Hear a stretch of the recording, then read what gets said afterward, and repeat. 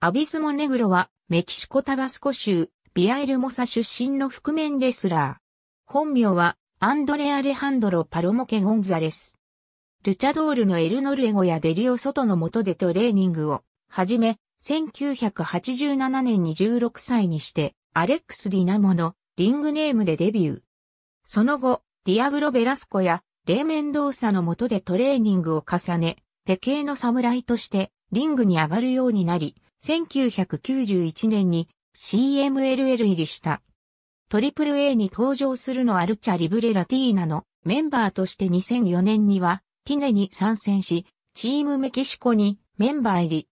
トリプル A とティネと関係が悪くなり、トリプル A に復帰。2000年に道のくプロレス主催のスーパー J カップに特別参戦。2005年、2006年にはプロレスリングノアにも参戦した。2009年3月22日朝に川で行方不明になり、昼に遺体で発見された。37歳没。ありがとうございます。